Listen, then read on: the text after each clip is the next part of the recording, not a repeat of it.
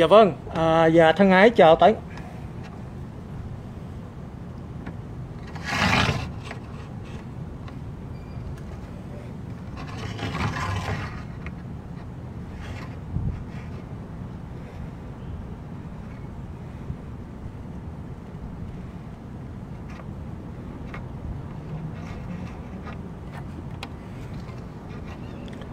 Dạ vâng, dạ thân ái chào uh, các bạn. À, tối nay Khải có hẹn với anh Nguyễn Hồng Phúc. Nhưng mà tại vì anh Phúc uh, có bận chuyện gia đình thành ra tụi Khải có lẽ sẽ hẹn dời lại đến cuối tuần. Thành ra Khải cũng uh, thôi sẵn thì ra đây để uh, có vài lời với các bạn thôi. Thì uh, cũng đến trễ thành ra tiệm uh, Gypsy Cà Phê đã đóng cửa. À, nhưng mà chỗ Khải ngồi chung quanh đây ra các bạn nếu mà nhìn để ý thấy là rất là sạch sẽ tại vì trong lúc Khải chờ thì uh, chủ tiệm đã dọn dẹp đã rửa xịt rửa cái sân rất là rất là đẹp. Thành ra cũng uh, một lần nữa cũng xin cảm ơn là đã uh, mạng phép sử dụng cái khuôn viên uh, cái sân của Gypsy Cà Phê. Thì uh, hôm nay thì Khải cũng uh, không có uh, chuẩn bị gì nhiều để mà Khải uh, giống như Khải còn nợ các bạn là Khải nói là Khải sẽ làm chương trình đều đặn lắm. Nhưng mà cho đến giờ này thì cũng hầu như chưa có làm cái gì. Thì uh, cho phép Khải uh, lấy cái earphone Khải check cái cái cái uh, âm thanh cái nha.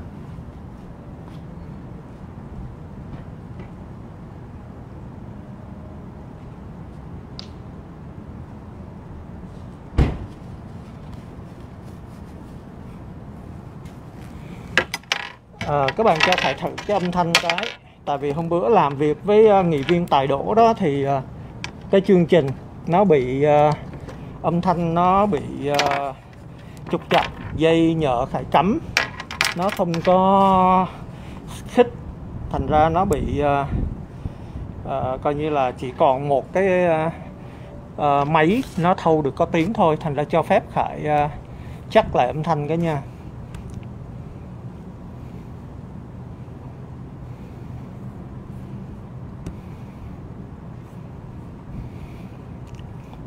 Có lẽ hôm nay nếu mà bạn nào rảnh theo dõi thì ờ, mình sẽ giao lưu chứ Khải cũng không có chuẩn bị ờ, đề tài gì hết. Chào bạn Hà Tiến Trường. Rồi để Khải vô trong ờ, Facebook, Khải check âm thanh cái nha. Thì Khải có hẹn với Bắc Cường từ hôm thứ hai nhưng mà tại vì thứ hai thì là ờ, không biết là khải bận hay sao đó. Rồi đến qua thứ ba thì ờ, khải lại ờ, ra ngoài đây. Khải hẹn với bắc cường từ 12 giờ thì khoảng đâu 9 10 giờ khải đã ra đây rồi. Ra Gypsy cà phê. Nhưng mà đến 12 giờ thì bắc cường lại gọi lại bác cường nói là bác cường à, mới đi chích ngừa về thành ra đang à, bị rêm mình gì đó. Thành ra là rồi thứ à, ba hay thứ tư thì khải với bác cường cũng không làm chương trình được. Thì khải nói thôi để nếu vậy đợi hẹn qua bữa khác. Thì hồi nãy bác cường có gọi hồi trưa trưa bác cường có gọi cho khải. Bác tưởng là hẹn đến hôm nay. À, tức là khải không biết hồi trưa. Khải không biết hồi trưa bác Cường có ra đây hay không nhưng mà bác Khải ở nhà thì bác gọi cho Khải. Thành ra Khải mới nói không. À, hồi hôm bữa ờ, thứ ba mình cancel. À, nhưng mà hình như thứ tư mình cancel. Nhưng mà cũng không có hẹn lại à, chính xác ngày giờ nào. Thành ra Khải với bác Cường hẹn ngày mai. Thành ra hy vọng ngày mai Khải sẽ có chương trình với bác Cường như thường lệ tức là vào thứ sáu rồi nếu mà sau này khải thấy thời tiết thời tiết uh, tuần tới nó có vẻ mát á, thì khải hy vọng khải sẽ ờ, nếu mà bắc cường khỏe thì khải sẽ uh, sắp xếp để mà làm chương trình với bắc cường mỗi thứ hai với thứ sáu giống như là bắc cường có đề nghị. Thì uh, uh, các bạn còn thấy giống như hồi đó Khải là có đưa ra cho bác các bạn coi cả tháng trước Khải đã viết uh, đây là những cái nốt thôi tức là những cái key point đó mà ờ, phải Khải viết quá nhiều những cái key point mà đến giờ cũng chưa có cơ hội để trình bày với các bạn. Các bạn còn nhớ là cái vụ mà Nguyễn Phương Hằng đó, thì Khải nói là Khải theo dõi một ngày, Khải bỏ ra khoảng 10 tiếng để Khải theo dõi. Thì ờ, Khải có thể thưa với các bạn là cho đến khoảng tuần rồi thì Khải đã không cần thiết phải theo dõi nữa. Có nghĩa là những cái chuyện mà mình cần biết tức là giống như Khải nói khi mà, mà Khải muốn uh, trình bày về muốn về một vấn đề gì tìm hiểu về một vấn đề gì thì ít nhất mình cũng phải nắm được cái vấn đề đó. Chứ không phải là cái dạng mà coi như là mình ăn ốc nói mò. Thành ra cái vấn đề mà khải bỏ một ngày cả 10 tiếng để khải theo dõi uh, những cái uh, uh, chương trình có liên quan đến uh, cái sự kiện Nguyễn Phương Hằng á không phải là khải uh, bị ghiền uh, xem uh, kịch drama tức là uh, những cái chương trình uh, bên đây nó gọi là reality show tức là reality TV đó. Ở như hôm bữa Khải mới nhớ ra các bạn bên Việt Nam dịch là cái gì cả thực tế đời sống hay là cái gì đó đại khái như vậy. À, không phải nhưng mà ít nhất trước khi mà Khải muốn chia sẻ đi uh, những cái nhận định có những cái kết luận thì đối với Khải ít nhất Khải phải nắm bắt được vấn đề. Mà khi mà cái sự, cái sự kiện nó bùng nổ ra đó thì đã có quá nhiều kênh đã, đã đú trend tức là chia sẻ tin bình luận uh, nhận định rồi à, mổ xẻ. Uh, tức là phe bên phe chống không nói rồi nhưng mà tức là những cái người mà đu theo bà Nguyễn Phương Hằng để mà mổ xẻ để mà à, những cái uh, chương trình livestream của bà Nguyễn Phương Hằng đó. À, thì cũng uh, Khải cũng phải uh, theo dõi với cái kênh đó. À, rồi chưa kể là các bạn nhớ cách đây 2 tháng là khải đã nói là khi đó là không phải khải uh, khoe nhưng mà khi đó thì hầu hết là chưa có ai biết cái nick master vui vẻ này đâu. Tại vì cái kênh của bà ta có vài ngàn người đăng ký và cũng có vài ngàn view thôi thành ra nói chung là uh, hầu hết đều không biết cái nick master vui vẻ. Nhưng mà khải đã nói trước là cái nick master vui vẻ này sẽ là cái đối tượng để mà khải phải uh, uh, phản bác phải mổ xẻ phải phân tích ví dụ như vậy. À, nhưng mà tại sao mà Khải nói với các bạn à, trong vòng mấy tháng qua Khải bỏ mỗi ngày cả 10 tiếng để theo dõi nhưng mà cuối cùng Khải lại không nói gì hết thì kính thưa các bạn đó là cái mà một lần nữa không phải Khải khoe nhưng mà Khải có thể đánh hơi được thấy được cái sự việc nó sẽ dẫn đến cái ngày hôm nay. Thì như các bạn thấy là trong cái cuộc phỏng vấn với uh, nửa vòng trái đất TV khi mà Khải nói chuyện với nghị viên Phát Bùi thì Khải có nhắc đến là và kể như Bắc Cường cũng có có có có có lặp lại là Khải có nói là cái sự kiện này nó có liên quan đến nghị quyết 36 mà Khải muốn nói nghị quyết 36 đây là vấn đề mà quốc cộng vấn vấn đề mà hòa hợp hòa giải hay là vấn đề mà ban tuyên giáo đối đầu với những cái thế lực thù địch đó thì cái đó là khải có thể đánh hơi được. Thì uh,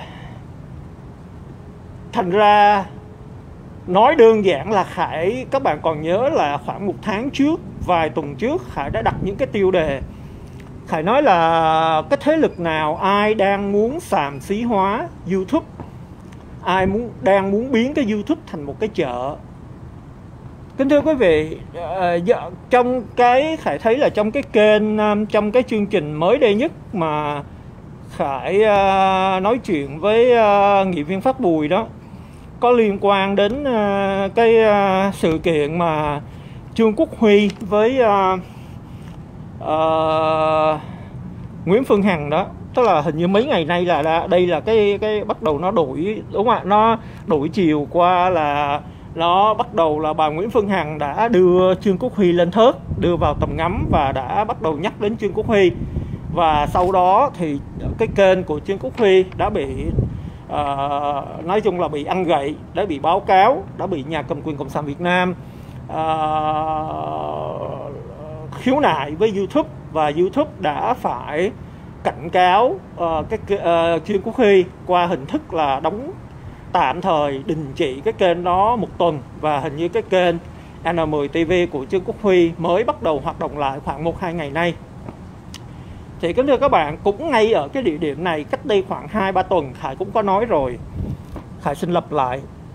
Khải đã nói là đối với Khải qua cái sự kiện Nguyễn Phương Hằng, thì những thế lực thù địch, tức là những cái lực lượng chống cộng, đương nhiên trong đó gom luôn những cái kênh như là của Trương Quốc Huy đó cách đây hai ba tuần khải đã nói rồi, khải nói là cái sự kiện nguyễn phương hằng này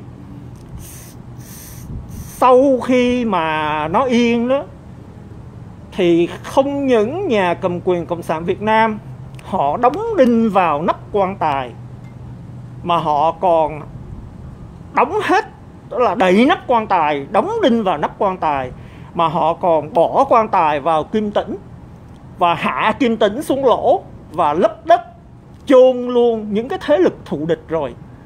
Thành ra cái chuyện mà những cái kênh như là trương quốc huy mà sẽ bị triệt hạ, sẽ bị ăn gậy và sẽ bị đóng cửa là cái chuyện khải đã thấy trước. Thì giống như khải có nói với anh pháp bùi đó, tức là à, cả mấy năm trước, khải đã nói rằng là những cái kênh. Không phải những kênh, nó tạm thời nói thẳng đi. Tức là cái kênh trương quốc huy đối với khải là tiếng anh nó gọi là useful idiot. Tức là một cái kẻ đần độn ngu dốt đã bị ban tuyên giáo biến thành cái công cụ để mà phục vụ cho đảng cộng sản việt nam.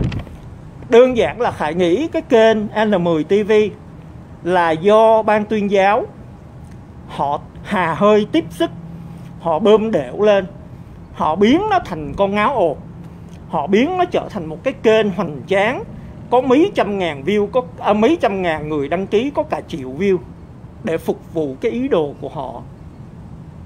Tức là xàm xí hóa những cái kênh youtube mà có cái chủ trương phản biện chỉ trích chế độ nhà nước Việt Nam. Đơn giản là những người đấu tranh, đối lập Đảng Cộng sản Việt Nam sử dụng YouTube như là một phương tiện. Thì qua những cái nhân vật như là YouTuber Trương Quốc Huy, họ khoác cho Trương Quốc Huy một cái mát là chống cộng. Họ xây dựng lên một cái kênh N10 TV biến nó trở thành một cái kênh vĩ đại. Rồi giống như khải nói với anh phát bùi, sau này họ sẽ lưu loa với thế giới, với youtube và với đồng bào trong nước. Họ nói đó, quý vị thấy không? Cái cái thành phần đối lập nó nó là như vậy đó, trình độ nó như vậy đó, cái tư duy nó như vậy đó, cái tư cách nó như vậy đó. Và cái cái ngôn từ họ sử dụng như vậy đó, và cái mục đích nó, họ là như vậy đó, họ đâu có phải vì xây dựng họ đâu có chỉ trích chúng tôi họ chỉ là dựng chuyện vu khống để mà dèm pha để mà là phá hoại thôi chứ họ không hề có có uh, mục đích xây dựng. Đó thành ra khải hơi ngạc nhiên là cái kênh của trương quốc huy đã tồn tại được đến cho đến bây giờ. Nhưng mà khải nghĩ có lẽ là nó đi chung vào cả một cái công cuộc tức là nó có lẽ là nhà cầm quyền cộng sản việt nam họ đã lên kế hoạch. Giống như cái phim hai phượng một lần nữa khai lập lại. Cái kênh hai phượng cái nhân vật phượng hai phượng chỉ là một cá nhân manh động còn để triệt hạ được cả một đường dây buôn lậu à, cả một đường dây buôn người thì và là các cơ quan, công quyền, bộ, công an, họ phải lên phương án và họ phải dăng thiên la địa võng. Thì cuối cùng họ mới, gọi là, triệt hạ cả một cái đường dây bắt chọn ổ. Tức là phải đợi tụi nó đưa người qua biên giới và cái tuổi đầu nậu ở, tức là đẳng cấp quốc tế, nó đến, nó nhận hàng thì mới ụp lại bắt, thì mới triệt hạ được, chặt được cái đầu của con con con con rắn đánh được, chết được con bạch tuộc, chứ không phải chặt, chỉ chặt được những cái vòi của con rết, của con bạch tuộc. Thì trở lại cũng vậy. Khải nghĩ cái vấn đề trương quốc huy tại sao nó tồn tại được mấy năm nay là có lẽ là tại vì nó nằm trong cái chiến dịch quy mô mà bây giờ khải nói ngoài cái vấn đề đốt lò của tổng bí thư nguyễn phú trọng. Nó liên quan đến vấn đề thay máu đến vấn đề thanh lọc hàng ngũ cán bộ của đảng viên trong đảng. Thì cái cái cái cái cái khải thấy rõ ràng cái chiến dịch này nó là một hình thức chấn chỉnh xã hội. Chấn chỉnh xã hội ở mọi mặt mọi mặt trận. Tức là mặt trận văn hóa mặt trận uh, gọi là uh, an ninh mạng uh, tôn giáo văn nghệ hoạt động từ thiện hoạt động từ thiện. Thành ra có lẽ là cái người mà đứng sau cái chiến dịch này có lẽ cũng là tổng bí thư nguyễn phú trọng. Tại vì khải thấy nó có liên quan đến mặt trận tổ quốc việt nam nó kia liên quan đến bộ văn hóa thông tin và du lịch bộ thông tin truyền thông nói chung là nó liên quan đến rất nhiều uh, lĩnh vực.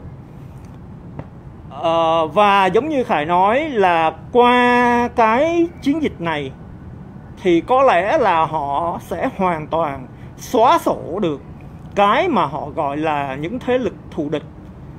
Thì khải thấy có người nói là uh, không những là họ tức là ban tuyên giáo đó uh, sẽ ờ, sẽ đóng cái kênh sẽ tìm cách đóng cái kênh của trương quốc huy mà sau này cái nhân việc nhân vật tiếp theo sẽ là trần nhật phong.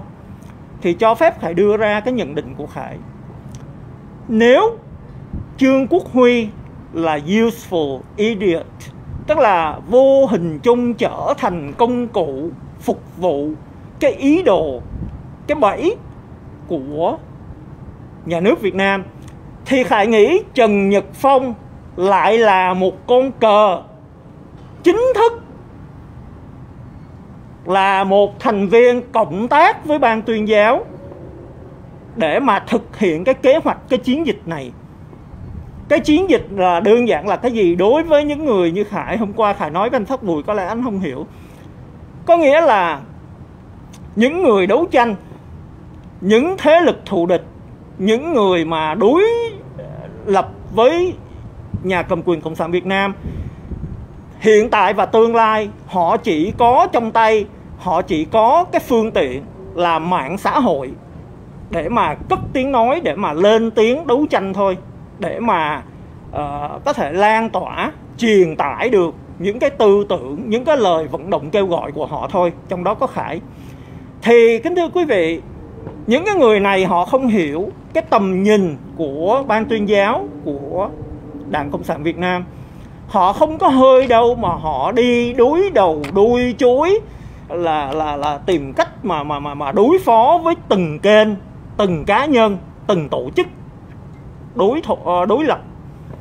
Giống như khải nói họ biết bây giờ những cái lực lượng thế lực đối nghịch với họ chỉ có thể dựa vào sử dụng cái phương tiện truyền thông mạng xã hội. Thành ra bây giờ cái chính của họ là siết chặt quản lý và xa hơn nữa là khuynh loát và làm chủ những mạng xã hội làm chủ những phương tiện mạng xã hội YouTube, Facebook, TikTok. Nếu họ không làm được như Trung Cộng là dựng lên được những cái nền tảng riêng mạng xã hội riêng của họ. Các bạn chờ khải cái nha. Cái ờ, này của khải nó bị uh, phone nó hết pin trên youtube. Cho phép khải uh, cắm pin sạc tràn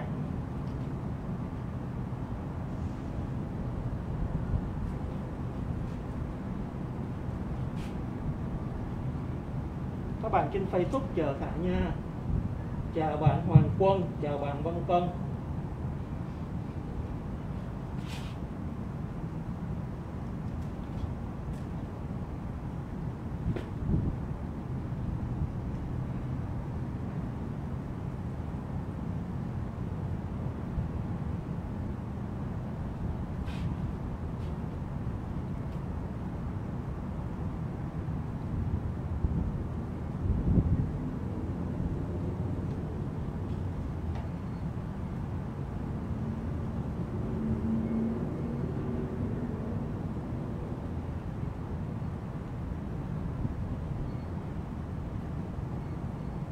các bạn trên Facebook chờ Khải tí xíu nha. Khải à, uh, tắm đồ Khải chạc cái uh, uh, phone của Khải Khải livestream.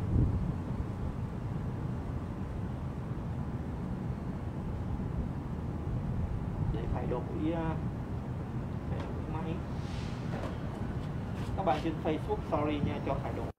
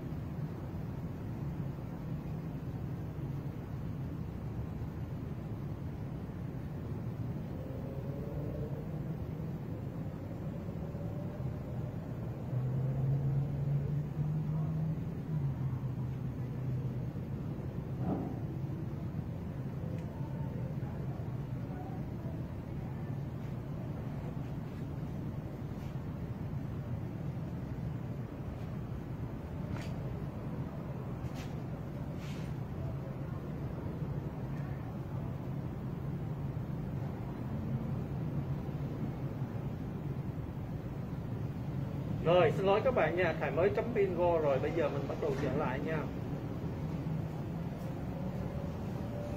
Rồi, xin lỗi các bạn.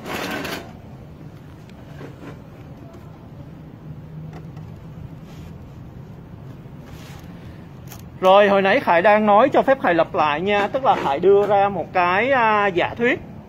Cái giả thuyết nói rằng là nếu mà như là à, Trương Quốc Huy Ờ, đã được đã bị nhà cầm quyền cộng sản Việt Nam ban tuyên giáo sử dụng như là một công cụ để phục vụ cho cái à, chiến dịch này của à, nhà cầm quyền cộng sản Việt Nam ban tuyên giáo. Để mà sao? Để mà sàm xí hóa để mà tầm thường hóa để mà bôi nhọ những người sử dụng mạng xã hội, sử dụng youtube để mà đấu tranh. Mà bây giờ họ gọi chung là youtuber, mà từ từ bà Nguyễn Phương Hằng bả bả dùng cái từ youtuber đó là họ đang cố tình họ nhập nhằng, họ gom chung lại hết những cái người. Giống như bây giờ các bạn thấy họ, bà Nguyễn Phương Hằng bả đưa luôn luật sư Nguyễn Văn Đài vào danh sách những cái người đó. Tức là những cái người youtube bơ những người mà đấu tranh trên mạng xã hội sử dụng kênh youtube để làm cái phương tiện truyền thông để mà truyền tải những cái ý tưởng những lời kêu gọi đó. Chỉ là cái bọn ăn hại đái nát xàm xí vô công rỗi nghề à, ăn tục chửi thề đại khái như vậy tức là không không không ra gì. Thì cái đó là là một trong những cái mà khải có thể thấy được cái cái ý đồ của họ và thứ hai, giống như Khải nói, qua cái sự kiện này đó, thì ngày 15 tháng 9 này, họ sẽ chính thức, tức là nhà cầm quyền cộng sản Việt Nam, ban tuyên giáo, họ mới chính thức, họ áp dụng thực thi luật an ninh mạng. Và họ bắt đầu chế tài những ai vi phạm bộ luật an ninh mạng. Và nếu mà quốc tế hoặc là những cái ủy ban đấu tranh cho nhân quyền á, giám sát về nhân quyền, giám sát những cái công ước quốc tế về nhân quyền mà có ý kiến đó, thì rõ ràng họ có thể đưa ra bằng chứng. Qua cái sự kiện của Nguyễn Phương Hằng, cho thấy là rõ ràng là YouTube là một cái môi trường là không có lành mạnh, đầy rác rưởi, giống như lời bà Nguyễn Phương Hằng nói. YouTube dơ, rác rưởi quá nhiều. Thành ra, nhà cầm quyền cộng sản Việt Nam thể theo nguyện vọng của quần chúng, phải ra tay siết chặt quản lý, chấn chỉnh lại cái mạng YouTube là để phục vụ quyền lợi của đất nước, của người dân, của công dân mạng, bảo vệ những công dân mạng sử dụng youtuber bị những thành phần youtuber quấy nhiễu vu khống chụp mũ lăng mạ phỉ bán mạt sát. Ví dụ như vậy. Kể cả là họ nói là những cái kênh youtube ờ, uh, youtuber là dựng chuyện xuyên tạc chính quyền. Bôi nhọ uh, những cán bộ lãnh đạo của nhà cầm quyền cộng sản Việt Nam gây xáo trộn trong xã hội. Thì cái đó là chưa kể giống như là có người nói là họ sẽ à, à, nêu ra trưng ra à, những cái bằng chứng về nhân thân về tư cách của những youtuber giống như là trương quốc huy. Để mà họ nói rằng là ồ quý vị thấy đây là biểu tượng đây là đại diện đây là là coi như đại biểu lãnh tụ của những cái người đó thì quý vị coi có xứng đáng hay không? Ở những người như vậy thì chúng tôi là là yêu cầu là cấm không cho uh, là là là chuyển tải những cái uh, Ờ, chương trình của họ vào nước của chúng tôi thì có hợp lý hay là không? Thì lúc đó là chúng ta sẽ bị mắc bẫy, bị ngọng. Là tại vì, giống như khải nói, là có những người không thấy được vấn đề. Khải đã nói rồi, quý vị không thể nào chống cái ác bằng cái ác quý vị không thể nào nói là cộng sản là dối trá, là tuyên truyền, là bịa đặt. Nhưng mà quý vị suốt ngày chỉ là bịa đặt tuyên truyền để mà chửi cộng. Thì rõ ràng ra trước tòa án quốc tế, ra trước công luận công luận chúc quốc tế, thì không ai có thể binh binh vực được những cái kẻ nói láo, đặt điều bịa chuyện. Đó là lý do tại sao cách đây 4 năm năm Khải đã nói rồi. Hải đã cảnh cáo những cái người chống cộng, nhưng mà không biết cách chống cộng, mà suốt ngày chỉ biết chửi cộng chửi cộng cho thỏa mãn, cho bỏ ghét thôi. Đúng không ạ? Tiếng anh nó gọi là venting, xả stress, cho bỏ tức thôi, cho thỏa mãn cái dục vọng, cái căm hờn, cái uất ức thôi. Chứ còn nếu mà nếu mà nói mà nhìn xa hơn, nó có mang lại được những cái ảnh hưởng, cái tác động, nó có thay đổi được sự việc không? Có chống cộng được hay không? Thưa không? Tại vì các bạn phải biết giả dụ trong một tòa án ở hoa kỳ nó không có mang cái cái tính cảm tính như là người việt mình. Các bạn thấy là các bạn nào mà sinh hoạt ở những môi trường mà dân chủ văn minh đó, các bạn ra những cái tòa án đó, thì người nhà của nạn nhân tức là cho bây giờ phải nói là một cái vụ án giết người hay là hiếp dâm đi thì các bạn sẽ thấy là không có cái chuyện mà người nhà là gào thét là uh, chu chéo rồi lăn lộn rồi nhào vô đòi hành hung đòi đó đòi ăn miếng trả miếng với hung thủ với can phạm. Mà người ta rất là văn minh lịch sự người ta rất là nếu mà không nói là ôn tồn điền đạm nữa hầu như không ai nó phát ngôn nói phát ra tiếng động. Tức là từ đầu đến cuối giả dụ như cái tòa cái đại sảnh như vậy mình đi vào mình thấy là can phạm nó được giải vô thì cũng chỉ nhìn nó thôi. Và khi mà bước vô trong cái phòng tòa bước vô thì mình ngồi cái ghế mình thì trong lúc hai bên luật sư công tố viên người ta uh, trưng ra bằng chứng là luật sư biện hộ người ta uh, bao biện thì cái thằng can phạm cái người can phạm nghi phạm cái này gọi là can phạm rồi. Can phạm có lên tiếng hay là không thì mình cũng chỉ ngồi mình nhìn thôi.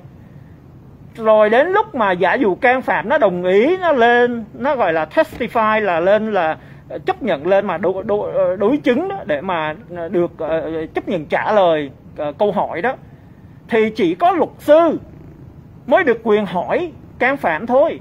Chứ còn những gia đình nạn nhân thân nhân thì cũng chỉ ngồi dưới nhìn thôi còn nếu mà mình lên tiếng mình chửi bới mình này nọ là xin lỗi.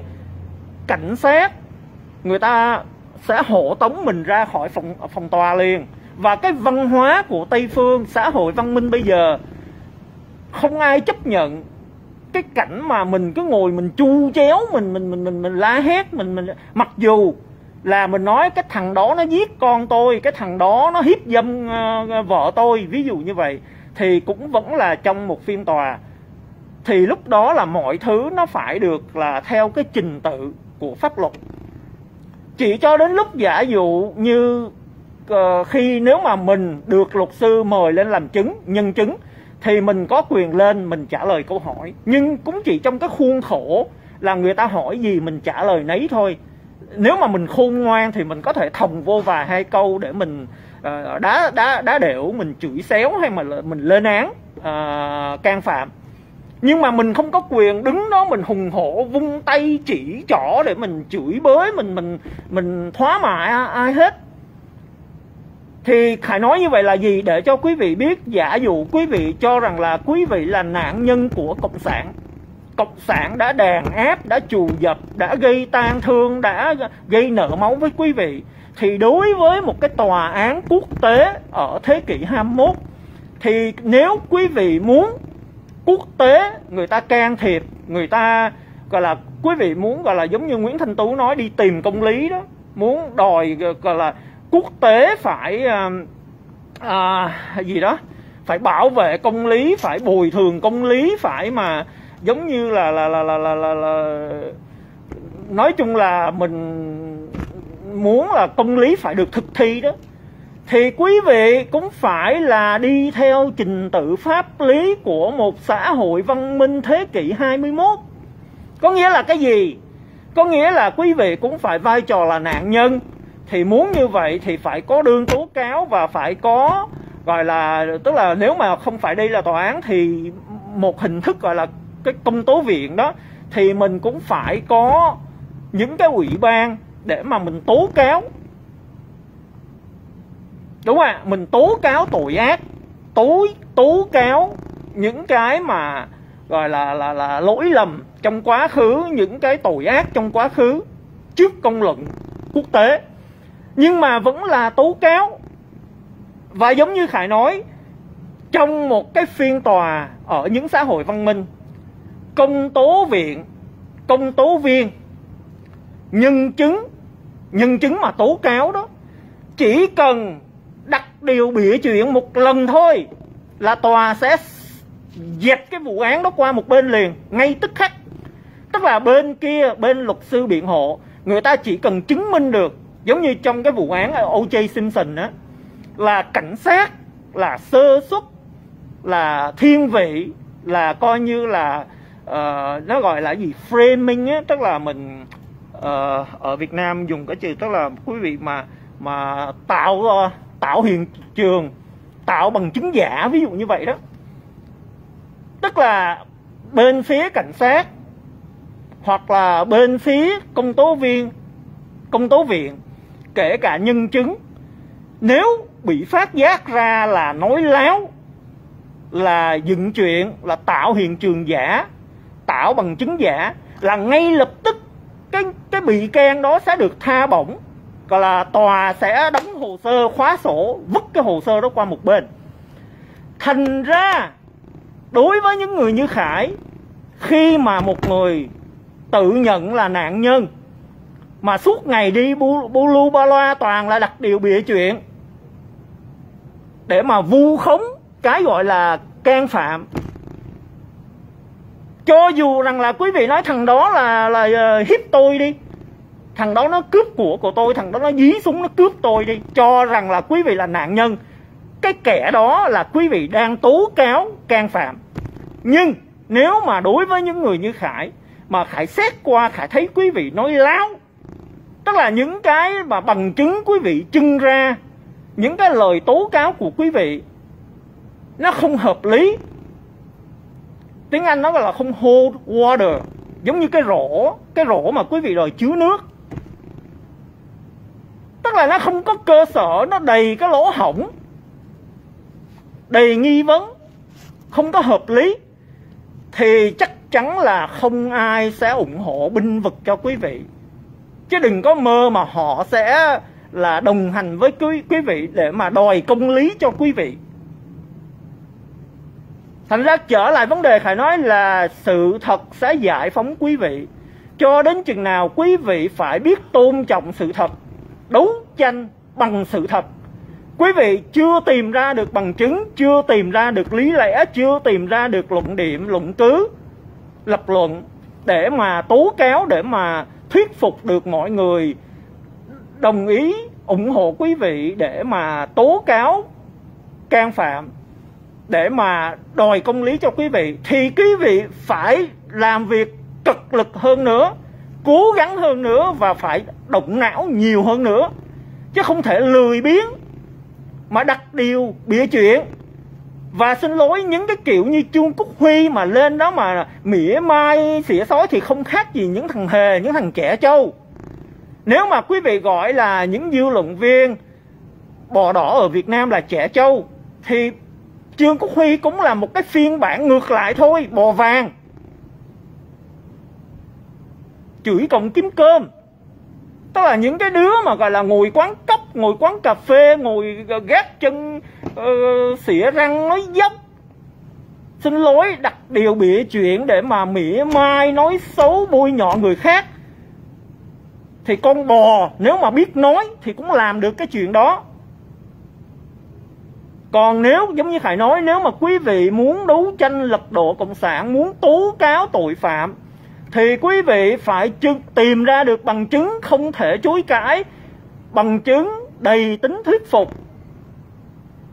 Và quý vị phải có được những cái luận điểm và chứng minh cho người ta thấy quý vị là những con người đạo đức, công minh chính trực, những con người văn minh, lịch sự, tôn trọng sự thật, tôn trọng những quy tắc ứng xử những cái cái là khái niệm dân chủ, thì quý vị mới có thể thuyết phục người ta để mà đồng hành, để mà đi đấu tranh đòi công lý cho quý vị được chứ khải đã nói rồi, những người như khải không bao giờ nghe theo một cái thằng khốn nạn để mà cùng với thằng khốn nạn đó đi quýnh một thằng khốn nạn khác các bạn hiểu khải nói không ạ à? Mình không thể nào lấy cái ác để mà đòi thay thế cái ác. Để làm gì? Một thằng khốn nạn thì không thể nào mà tự nhiên là thuyết phục người khác để mà đổ máu để mà đi với nó để mà thay, thay thế dùng nó thay thế một thằng khốn nạn khác được.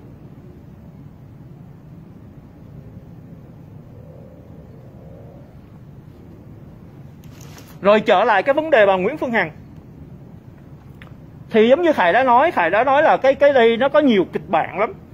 Nhưng mà đến ngày hôm nay thì Khải có thể uh, dần dần có có lẽ ngày mai ngày mốt Khải có thể trình bày cái cái cái kết luận của Khải được. Có nghĩa là giống như Khải nói cái kịch bản thì nó rất là nhiều nhưng mà cái chính là những thế lực nào ở đằng sau? Ai là người ở đằng sau? Giật dây. Vẽ ra cái kế hoạch đưa ra cái sách lược cái chiến tức là là là, là giống như là một cái chiến dịch hành quân đó. Thì cái cái cái, cái là là là là là, là thống soái là ai? Ờ, ban tham mưu là ai? Thì khải nghĩ bà nguyễn phương hằng chỉ là giống như ông huỳnh uy dũng ông nói đó chỉ là một chiến tướng thôi chỉ là một cái người thực hiện những cái gọi là liên hoàn kế những cái sách tức là những cái mà uh, chiêu mà đã được người ta bày ra sẵn rồi trong một cái mẹ lưới mà một cái chiến dịch như vậy. Thì có lẽ nhiều người các bạn nghĩ là khải hơi uh, uh, ảo tưởng hơi uh, chắc người cõi trên thành ra lúc nào cũng ngồi vẽ ra những cái chuyện phong thần. Xin thưa là không hề. Bằng chứng là những cái nhân vật mà khải đã nhắc tên là cái nick master vui vẻ bản thân cái nick master vui vẻ cũng đã nói là bà ta đã cây cú, hoài linh từ cái lúc mà xảy ra cái sự kiện đám tang của cố danh hài trí tài. Mà các bạn còn nhớ là khi mà cái đám tang đó đó là cái khán giả hâm mộ cố danh hài trí tài đã ùa ra đường. Và khi mà cái đám đông gần như là nó gọi là sùng bái phải không ạ? Sùng bái nghe theo những cái lời hiệu triệu, nghe theo những cái mệnh lệnh của những người như là hoài linh hoặc là các phượng đó. Rồi dễ dẫn đến cái sự việc mà cái tay mà youtuber mà duy nguyễn chỉ cần nói đụng chạm, gọi là xúc phạm đến à, chị à, hình như phượng loan à tức là nó chị à, chị phu nhân của anh trí tài đó thì là những khán thính giả hâm mộ họ đến bao vây đến từ gia đến cơ sở của duy nguyễn. Đòi là thanh toán à, là là nói chuyện với duy nguyễn. Thì chính cái nick master vui vẻ bà ta cũng nói là bà ta đã coi như là đã cay cú ngay từ lúc đó và bà ta ngay các cá nhân của bà ta đã là muốn gọi là phải sẽ à, là là là có một cái um, không phải chỉ là phản ứng, mà sẽ có những, phải có những cái phương án để mà đối phó với cái vấn đề đó. Thì các bạn cứ tưởng tượng, các thầy đã nói rồi, ở những cái xã hội như là Bắc Triều Tiên, như là Cuba, như là Trung Cộng, như là Việt Nam, họ không bao giờ chấp nhận có bất kỳ một cái tổ tổ chức, một cái hội đoàn, một cái lực lượng, một cái cá nhân nào mà có cái tầm ảnh hưởng, có thể hiệu chịu được thiên hạ có thể ra lệnh được cho quần chúng, có thể được sự, gọi là, ủng hộ của tập thể. Thì rõ ràng chắc chắn họ sẽ phải có cách phải, họ phải tìm cách để giải quyết cái vấn đề đó. Rồi cái vấn đề cô thủy tiên, đúng không ạ? Chỉ cần qua một cái tuần lễ kêu gọi thôi là đã quyên được hai trăm mấy chục tỷ đồng Việt Nam thì các bạn thấy như vậy rõ ràng là cạnh tranh với cái công việc của mặt trận tổ quốc Việt Nam. Rồi giống như Khải nói Nếu mà qua những lời nói chuyện của cái Nick Master vui vẻ Thì các bạn sẽ thấy là những cái người trong cái kỹ nghệ hậu đồng Mà trong cái mà uh, những cái người mà làm những công việc là hầu đồng hoặc là cái cái cái tôn không phải là đây không phải là tôn giáo giống như một cái hình thức tín ngưỡng truyền văn hóa truyền thống uh, phi vật thể là đạo mẫu đó văn hóa hầu đồng. Mà bà ta gọi là những thanh đồng ở miền Bắc đó là họ cũng thấy họ đang bị cạnh tranh họ mất thị phần họ bị mất quyền lợi mất ảnh hưởng đối với hoài linh thành ra rồi giống như khải nói kể cả cái khu du lịch đại nam nếu mà nhìn từ góc độ là khu du lịch tâm linh thì cũng sẽ bị cái nhà thờ tổ của hoài linh cạnh tranh ảnh hưởng đến cái cái gọi là đến uh, cái cái uh, doanh nghiệp. Thì tất cả những cái đó chúng ta phải nhìn là nó đều là những cái lý cớ cái nguyên do để nó dẫn đến cái sự việc ngày hôm nay cũng giống như khải nói, cái chuyện của trương quốc huy thì rõ ràng là ban tuyên giáo bộ công an. Nhà cầm quyền cộng sản việt nam, họ đã phải đặt vấn đề và lên phương án để giải quyết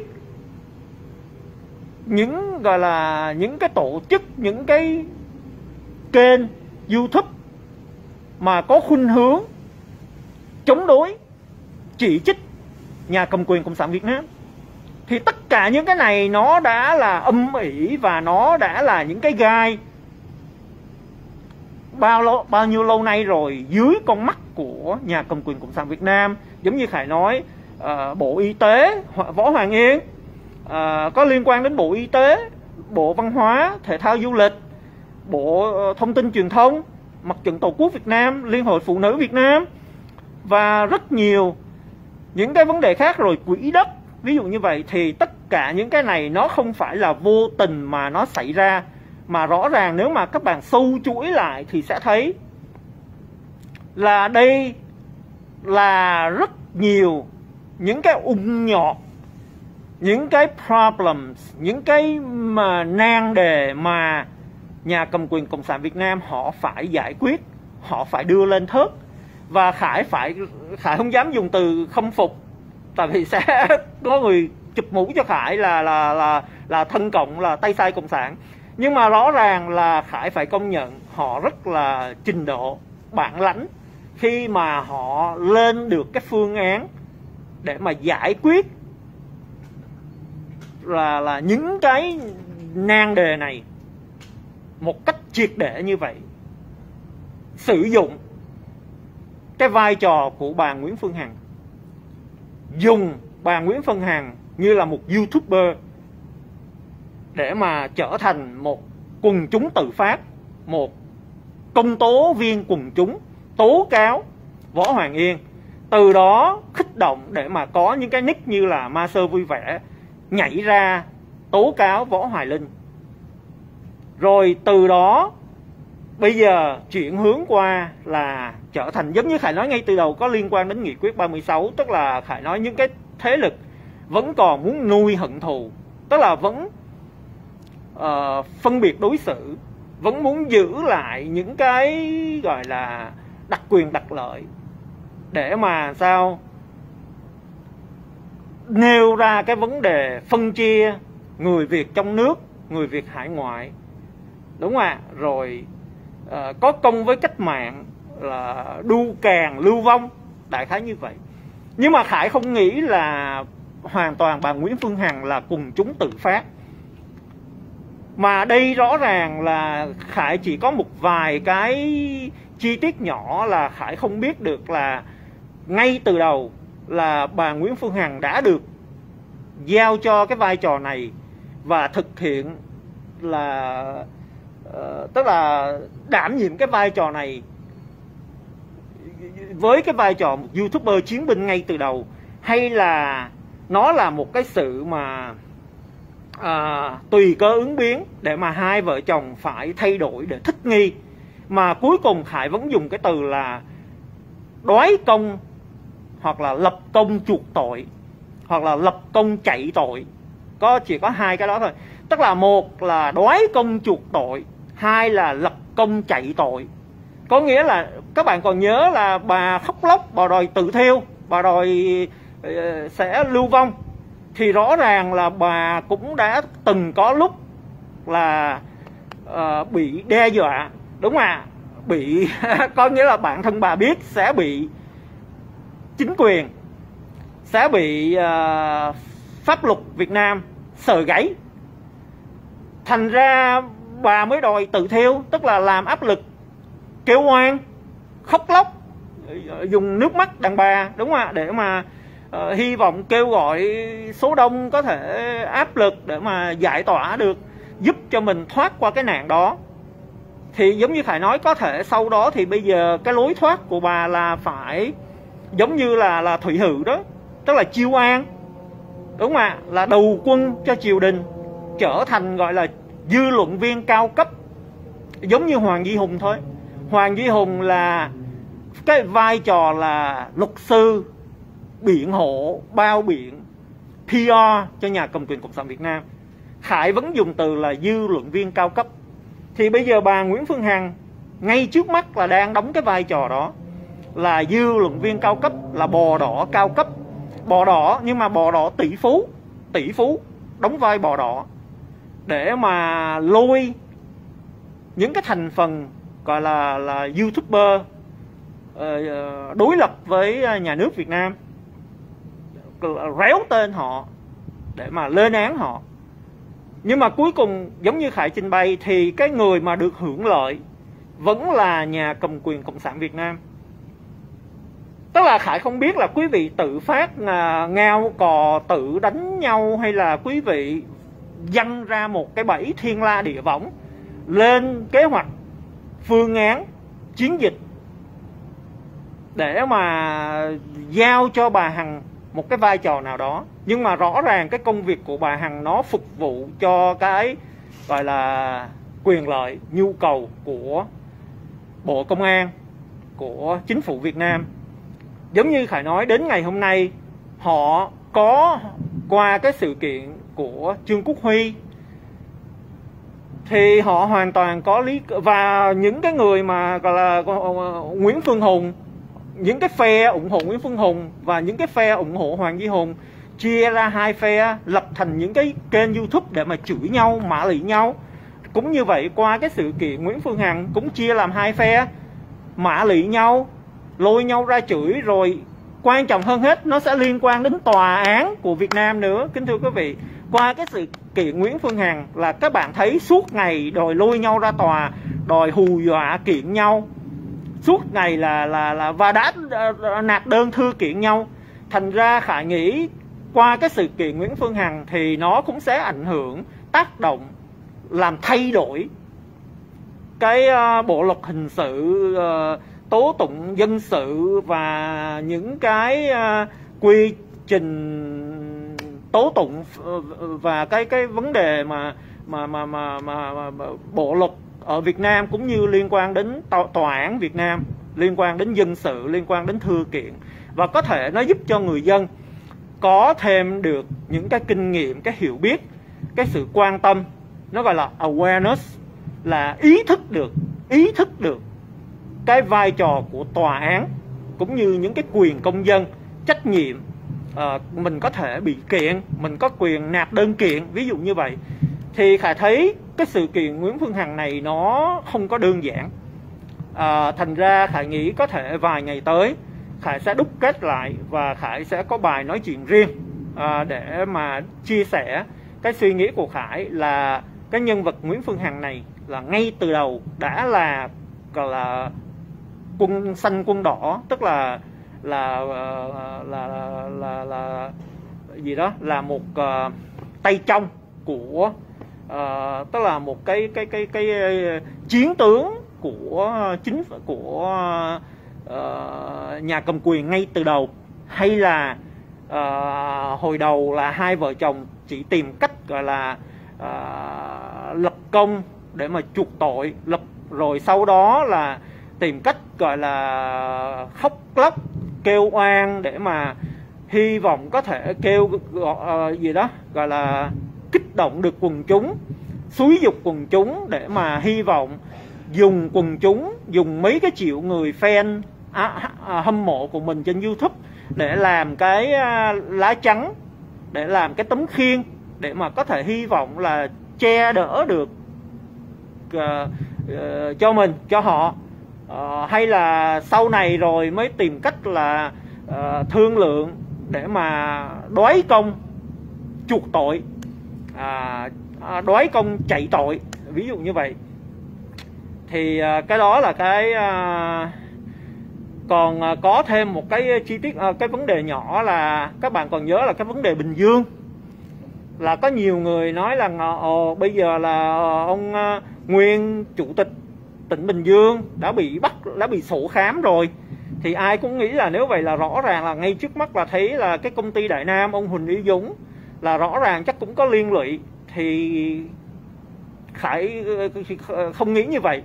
Tại vì khải thấy là khi mà cái ông trần văn nam đó mà bị bắt đầu uh, sờ gáy đó bắt địa bắt đầu bị ờ, lên báo và bị kỷ luật đó thì bà nguyễn phương hằng bà rất là mừng rỡ và chính bả uh, hình như là công bố ý nói rằng là là cái gọi là bà vợ cũ của ông huỳnh uy dũng mới chính là những cái người mà gọi là là là, là gì đó mới sẽ là những cái nạn nhân của cái uh, uh, gọi là cái cuộc thanh tra đúng không ạ? Tỉnh bình dương. Ờ, theo khải hiểu là như vậy. Thì cái đó nó lại dẫn qua một cái mà trước đây mấy tháng khải có đặt vấn đề, tức là khải còn đưa ra nhiều cái khả năng giả thuyết đó. Thì khải còn nhớ cái nick master vui vẻ khi đầu bà ta nhắc đến cái vấn đề hoạn thư. Hoạn thư thì mình phải hình dung đến là gia đình cũ của ông huỳnh uy dũng. Và có thể là cái thời gian đầu bà nguyễn phương hằng, bà phải đối phó với uh, vợ cũ của ông huỳnh uy dũng và khi mà bà ta lên án bà ta khóc lóc cái vụ các bạn còn nhớ VOV đó nói là tại sao mà không có báo nào bên vực bà ta rồi còn tính gài cho bà ta để mà uh, tính bắt giam bà ta tức là vu cho bà ta cái tội mà uh, gì đó uh, coi như là là là bắt tay với uh, phản động những thế lực thù địch để mà mà mà phá sập cái kênh uh, uh, mạng của uh, VTV đó. Thì khải nghĩ cái lúc đó cái thế lực mà bà Nguyễn Phương Hằng bà đang uh, kêu oan với ông Huỳnh Uy Dũng á, bà đang khiếu nại với ông Huỳnh Uy Dũng các bạn còn nhớ ngay trên uh, livestream đó. Khi đó thì ông Huỳnh Uy Dũng là ông ý ông nói là vậy là xong rồi tức là uh, hình như là uh, Ờ, chính phủ đã ra thông báo là sẽ điều tra sẽ xử lý coi như là cái cái công việc của mình đã xong rồi tức là em đã tố cáo và bây giờ chính phủ sẽ uh, xử lý. Thì các các bạn còn nhớ ngay lúc đó bà Nguyễn Phương Hằng bà không chịu bà cái vô mà nói nhưng mà tụi nó đòi triệt em tụi nó đòi uh, coi như là vu oan để mà lỡ mà em bị bắt là nhiều khi em chịu không nổi em phải tự thiêu rồi sao? Thì khải nghĩ có thể cái lúc đó cái mà thế lực đối nghịch mà hạ mà bà Nguyễn Phương Hằng bà nói là muốn uh, vu oan giáo họa mà hãm hại bà đó thì có thể là cái uh, gia đình cũ của ông Huỳnh Uy Dũng. Thì khi mà cái tỉnh Bình Dương mà ông Trần Văn Nam mà bị lên báo và có tin là ông ta đã bị kỷ luật đã bị cách chức đó thì bà hình như bà Nguyễn Phương Hằng bà không hề lo lắng mà bà lại tỏ vẻ rất là vui mừng thì cho thấy đối với Khải thì Khải nghĩ như vậy là những cái người mà sẽ chịu trách nhiệm liên đới với cái nhóm uh, quan chức tỉnh Bình Dương nghe nói bây giờ đã lên hai mươi mấy người và ông Trần Văn Nam đã bị sổ khám rồi. Thì theo những gì Khải nhớ và theo lời bà Nguyễn Phương Hằng nói thì những cái người tòng phạm à, với những cái quan chức tỉnh Bình Dương sẽ là gia đình cũ của ông Huỳnh Uy Dũng chứ không phải là cái công ty Đại Nam của bà Nguyễn Phương Hằng và đương nhiên cái công ty Đại Nam của ông Huỳnh Uy Dũng và bà Nguyễn Phương Hằng. Thì đó lại là một chuyện nữa. Nhưng mà các bạn còn nhớ là theo Khải thì Khải không nghĩ là bà Nguyễn Phương Hằng bà đóng kịch mà bà lưu loa bà đòi tự thiêu đâu các bạn còn nhớ lúc đó là ngu kỹ là là cũng khóc lóc theo mà xem là rất là mũi lòng. Thì khải nghĩ ngu kỹ cũng không đến độ ngu dốt mà thấy bà nguyễn phương hằng bà đóng kịch mà là là là lại ngộ nhận là bà khóc thật. Thành ra khải nghĩ à, cái vấn đề này là thứ nhất là rõ ràng bà nguyễn phương hằng đã từng khóc lóc đòi tự thiêu. Thì có nghĩa là ở một cái, có một cái giai đoạn nào đó, bà nguyễn phương hằng đã chịu đã phải đối diện với một cái à, áp lực đối đối diện với một cái kết cuộc có nghĩa là một, một cái bản án đúng không ạ? Tức là có thể bà sẽ bị chính quyền điều tra tịch thu tài sản hay là bỏ tù gì đó. Có nghĩa là cái kết cuộc nó phải bi thảm lắm nó phải nghiêm trọng lắm thì bà ta mới đòi tự thiêu mới đòi nói là Ờ, có lúc mà đòi gần như là lên án chính quyền nói là là không có công bằng với bà ta rồi là là là bà ta bị oan ức đó. mà đương nhiên cái người gây oan cho bà ta là là chính quyền Việt Nam nhà cầm quyền cộng sản Việt Nam. Và bà ta đòi là bà ta sẽ tự thiêu hoặc là sẽ uh, giải uh, gọi là gì ha? Giải uh, sẽ thanh lý cái công ty Đại Nam và sẽ bỏ đi nước ngoài sống lưu vong. À, thì khải nghĩ cái cái giai đoạn đó là có thật còn cái chuyện khải không biết là từ đó cho đến ngày hôm nay tự nhiên bà ta trở thành bò đỏ trở thành dư luận viên để mà đi chửi trương quốc huy thì rõ ràng khải không nghĩ đây là con người thật của nguyễn phương hằng. Tại vì bằng chứng là rõ ràng những cái lập luận uh, cái kiến thức của bà ta những cái ngôn từ những cái lập luận uh, của bà ta cho thấy là tức là bà ta chỉ uh, diễn thôi.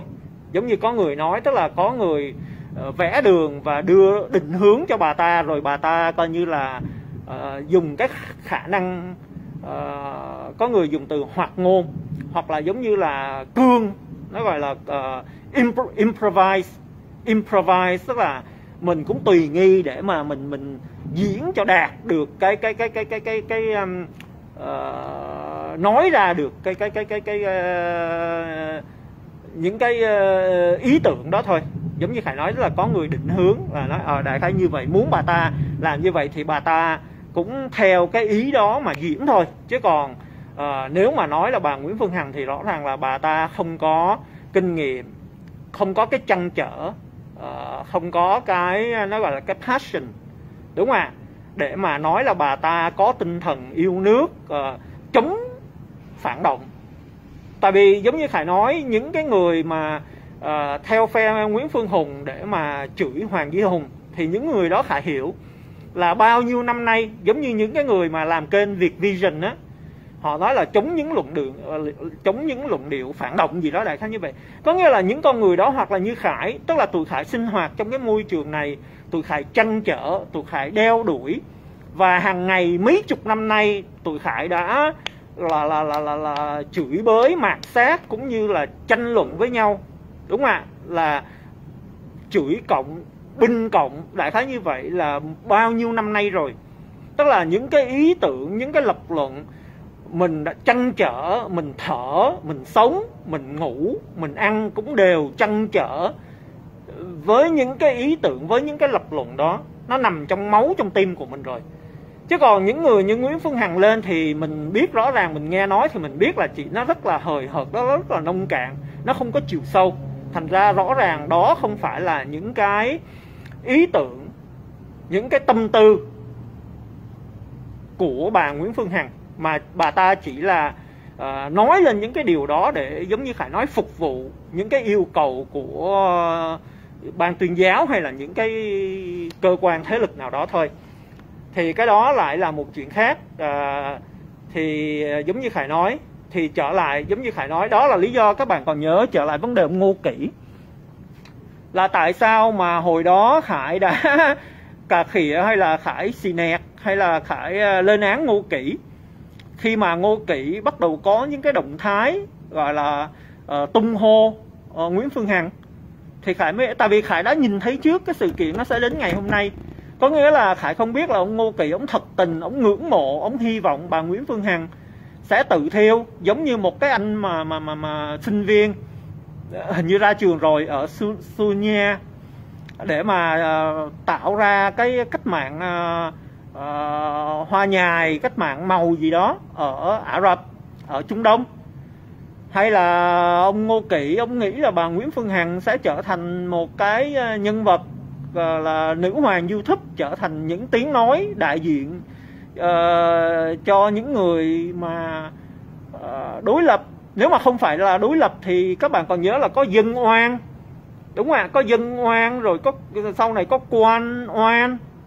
Rồi bây giờ có thể là có có có, có ờ, doanh nhân tỷ phú oan tức là những cái người mà uh, doanh nhân thành đạt tỷ phú bị oan ức họ lên tiếng và trở thành những người đối lập đối kháng ở Việt Nam thì rõ ràng nếu mà bà Nguyễn Phương Hằng bả thật sự là như vậy và bả chấp nhận cái vai trò đó thì rõ ràng là cái vai trò cái ảnh hưởng của bả phải nói là là là là là, là, là, là, là rất là là, là là là ảnh hưởng rất là to lớn tức là giả dụ như hồi xưa những người như là uh, Lê Thị Công Nhân uh, Nguyễn Văn Đài thì cũng chỉ là những luật sư thôi luật sư trẻ hoặc là trước đó thì Trần Huỳnh Duy Thức nếu mà nói là doanh nhân thành đạt thì là nó gọi là có tiềm năng.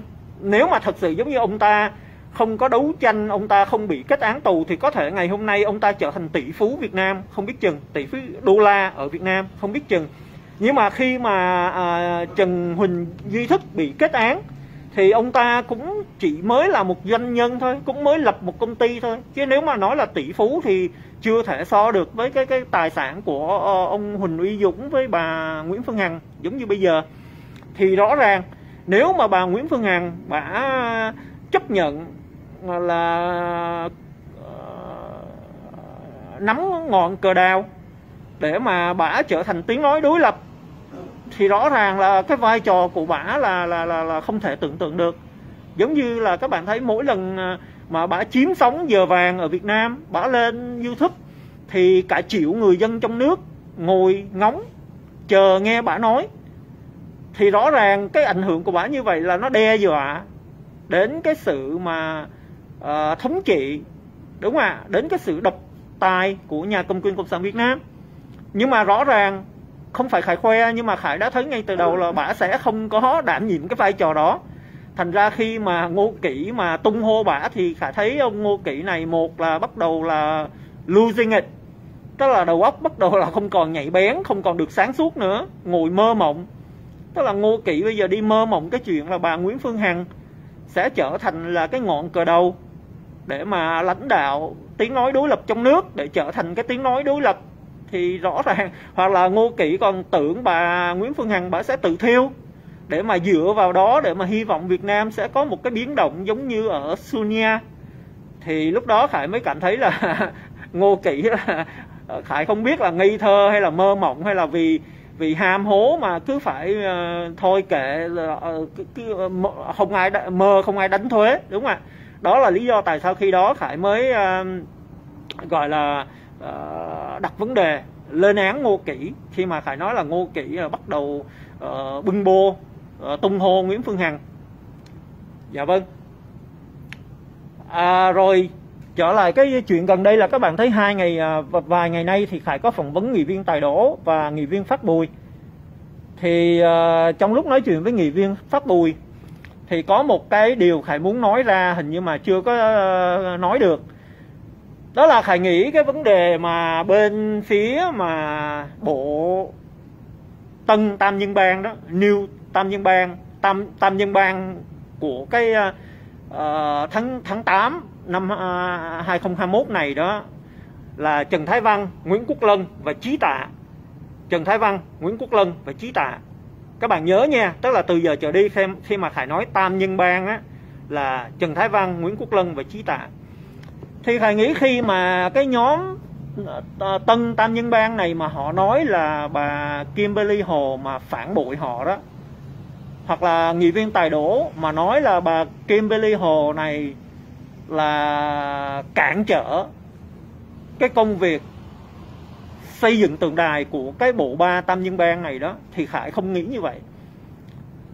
Khải có đặt cái tiêu đề trên một cái clip trong cái kênh của khải là kimberly hồ bỉ mặt bộ ba tam nhân bang. Tức là rõ ràng bỉ mặt, tức là làm nhục là coi như là cái cái cái cái cái đám này, các bạn thấy không? Tức là trần thái văn muốn cuộc khởi, muốn trở lại chính trường để nắm giữ cái vai trò bố già của sinh hoạt chính trị của người Việt gốc Mỹ ờ, người Mỹ gốc Việt tại Nam Cali. Mà bây giờ ba thằng gom lại, một thằng là thị trưởng, mà đưa ra cái đề xuất mà muốn xây một cái tượng đài trong cái thành phố của mình, mà cuối cùng bị gạt ra ngoài, cấm không cho làm, thì rõ ràng đó là một cái tác tai, một cái sự sỉ nhục, bỉ mặt. Tức là bà bà bà Kim Ly Hồ, bà đâu có phản bội, bà tác tai tụi này, bà bỉ mặt tụi này, bà làm nhục tụi này. Cái đó là cái nhìn của Khải và thứ hai, Khải cũng nói là rõ ràng tại sao bà làm như vậy. Tại vì tụi này nó nói là bà Kimberly Hồ là làm phản. Nhưng mà mình phải nhìn lại, đúng không ạ? Không có lửa, sao có khói?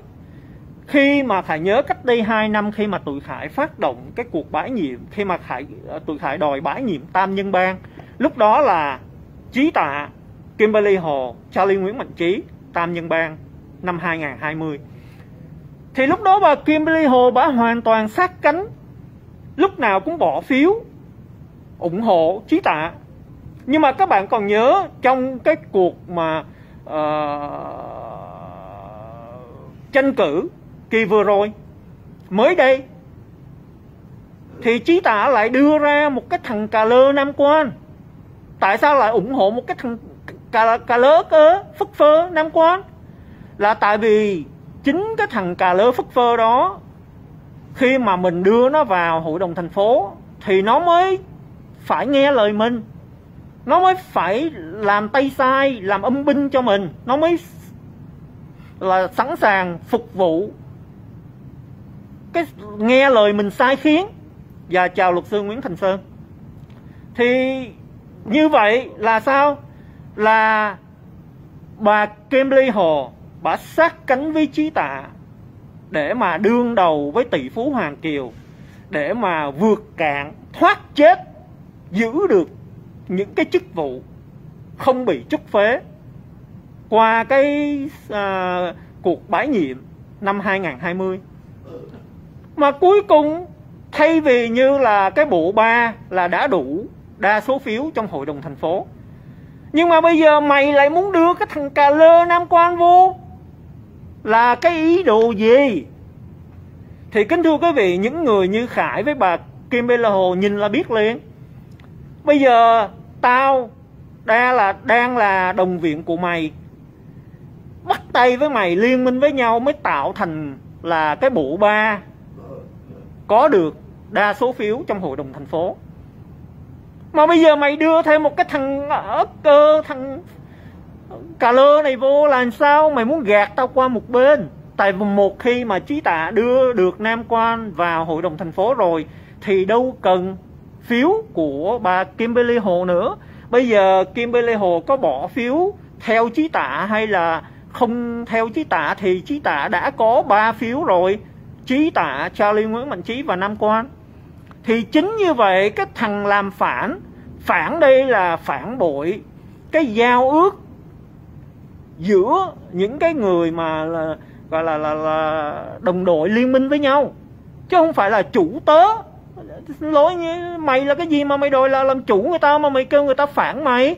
Nhưng ít nhất trí tạ đã manh nha hoang tưởng cho rằng là mình có đủ uy tín để đưa được một cái thằng chửi cha mắng mẹ bỏ vợ bỏ con văn tục chửi cha chú trong cộng đồng. Vỗ ngực nói là hậu vệ Việt Nam Cộng Hòa nhưng mà lại đi ra tung hô ông Nguyễn Phú Trọng. Nói láo không biết ngượng miệng. Suốt đời bốn năm chục năm nay là theo đảng Dân Chủ đùng một cái quay qua đi bung bô, bưng bô tung hô Donald Trump. Tức là những cái thằng đĩ miệng sẵn sàng nói bất cứ một cái điều gì miễn là có lợi cho nó là nó nói. Rồi đi gọi là suối con tú che đi lôi chuyện gia đình người ta ra vợ chồng ờ, phòng the người ta ra đi đi ngồi lê đôi mắt. Rồi bây giờ đi lên trên uh, youtube ngồi cãi lộn với bà nguyễn phương hằng đi lôi ra là như một cái cái cái cái, cái con mụ hàng tôm hàng cá đầu đường xó chợ. Để mà đi nói xấu một người đàn bà phụ nữ. Như vậy có xứng đáng hay không? Làm làm nghị viên của thành phố. Nhưng mà tại sao trí tài lại đưa một cái thằng gọi là là là là là, là, là, là vô tư cách như vậy vào trong hội đồng thành phố? Là tại vì tưởng là có thể tao đưa mày vào trong hội đồng thành phố là mày trở thành lính của tao mày phải nghe lời tao. Thì rõ ràng bà Kimberly Hồ bà thấy được. Vậy là anh anh anh anh, anh gọi là anh chơi sấp anh không có tôn trọng tôi. Anh đâu có coi trọng cái cái sự đầu, ờ, liên minh của của của của tôi. Thì không thể trách bà ta được. Ok.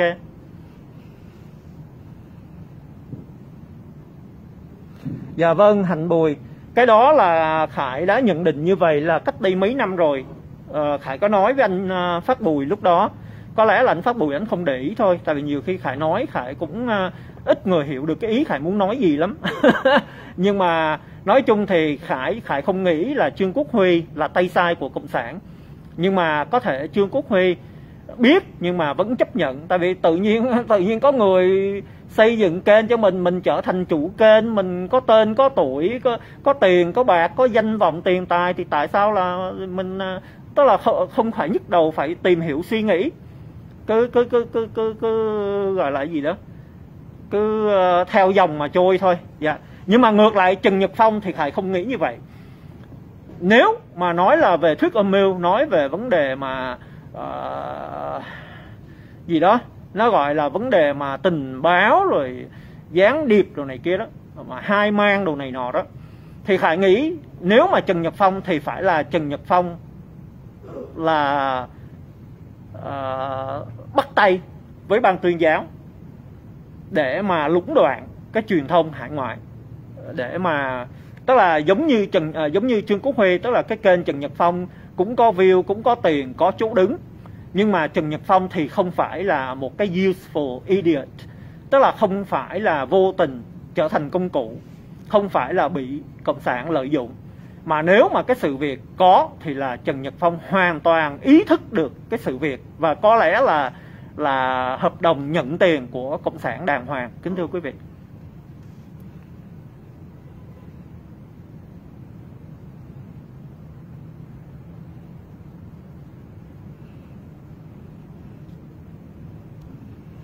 Dạ vâng, rồi đêm cũng khuya rồi, Khải xin phép được uh, chia tay với các bạn để Khải coi các bạn nào có ý kiến gì, có trao đổi gì. Chào sis ờ, uh, KB uh, ờ, KB Lindy, uh, chào bạn Lê Hoàng. Và luật sư Nguyễn Thành Sơn thì Khải hy vọng bữa nào Khải có thể liên lạc với luật sư Nguyễn Thành Sơn uh, để nói chuyện thì cái người mà Ờ, không có ăn ốc à, ăn ốc nói mò mà nắm được vấn đề, hiểu được cái chuyện của ông Huỳnh Uy Dũng và bà Nguyễn Phương Hằng. Có lẽ là luật sư Nguyễn Thành Sơn. Còn Khải thì Khải cũng cái dạng thầy bói mù sờ voi thôi. Thì ờ, cũng là đang múa ờ, rìu qua mắt mắt thợ. Hy vọng là luật sư Nguyễn Thành Sơn không có cười, không cười chê. Dạ vâng cảm ơn các bạn đã theo dõi và Khải xin hẹn gặp lại các bạn trong những chương trình tới.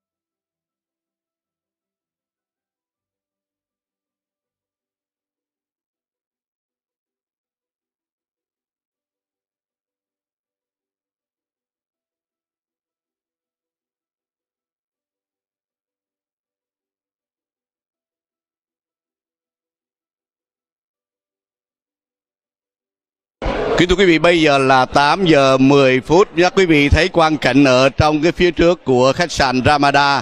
Và có thể nói lần lượt tất những người đến để uh, tiếp xúc với là Lương Y, Võ Hoàng Yên, từ mờ sáng thì chúng tôi đã thấy rất đông người. Hiện nay thì có thể nói cái không khí rất là đông. Hôm qua thì trong một cái cuộc tiếp xúc đầu tiên lương y võ hoàng yên đã làm cho tất cả những người bệnh nhân kính phục và tôn kính ông khi có những người bệnh nhân bị liệt chân.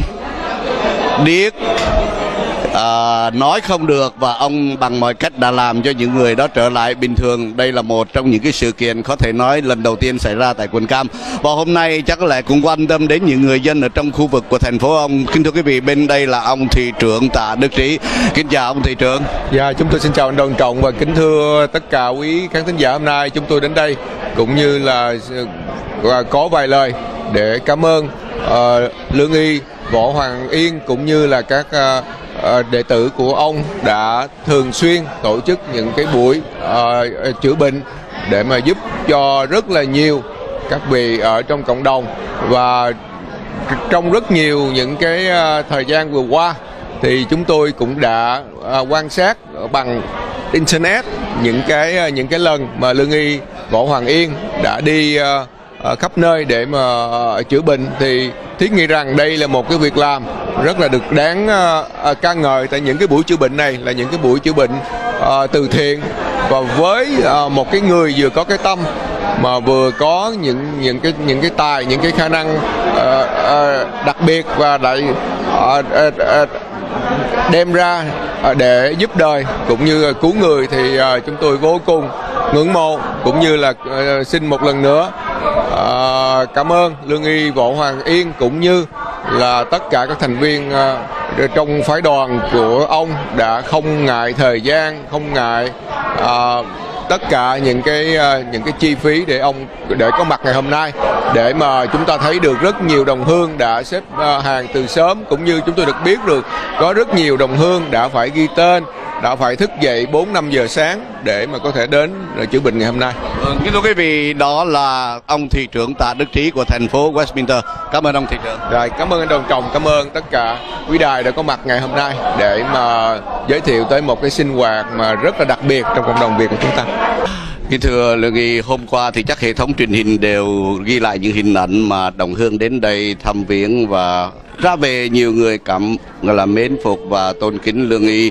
Ờ, ở hôm qua thì Lương Y thấy không khí ở quận Cam như thế nào thưa Lương Y? Ê, rất là hạnh phúc. À, kiều bào chúng ta sống ở, ở xứ người mà rất là tình nghĩa. À, chúng ta cần phải phát huy thêm cái tinh thần đạo đức và nghĩa tình của người dân tộc mình. À, tôi rất là hân hạnh rất là vui mừng không ngờ nơi đây người thị trưởng hiện hữu ở đây lại là người Việt Nam mình nữa. Rất là hạnh phúc rất là tự hào cho dân tộc Nhưng Việt. mà lại gần quê với Lương Y cũng gần tới Cà Mau mà. À, quê bạc liêu quê ngoại của thầy. Vui quá. Thế Lương Y ở định ở lại đây bao lâu tất cả? dạ chỉ có hai ngày từ hôm nay và ngày mai dạ. Dạ. Thế Lương Y dự trù có thể giải quyết cho tất cả những người hâm mộ đến viếng thăm Lương Y không?